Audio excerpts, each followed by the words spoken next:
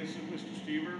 I'm gonna show you how to complete the document portion, the document and measurements portion in your state inspection paperwork. This is the first sheet, you have the checklist. On the second sheet, we have all the document and measurements that are required as the tactile course.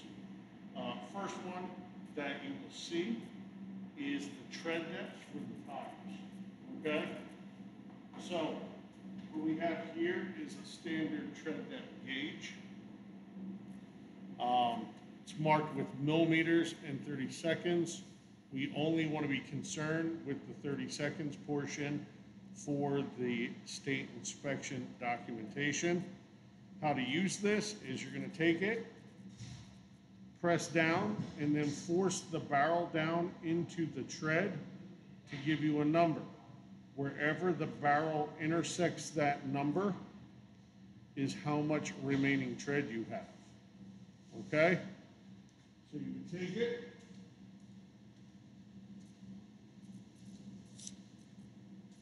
If this was your tire, you're gonna have a lot of tread. Take it, you press that down, but I always prefer to press down the barrel. And this one reads twelve, I don't know if you can see that. Sometimes it's tough to focus, but you would check wherever that intersects, okay?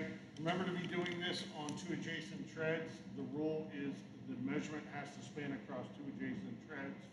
So you wanna find your lowest tread. The tread is four thirty seconds on this side and six thirty seconds on this side. We wanna concentrate in this area. Make sure these adjacent treads meet state inspection On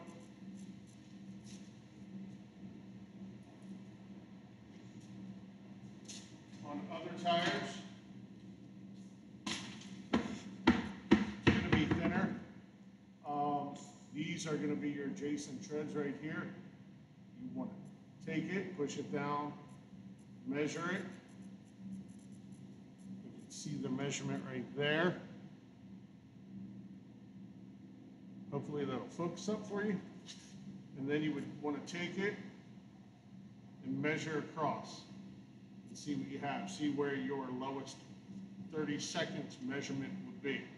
You would want to do this for all four tires. Uh, you want to document all four tires on your state inspection. This documentation would go right here, that corner. So say if the measurements were all consistent with the first tire I did, be 12, 30 seconds. And you would document it like this.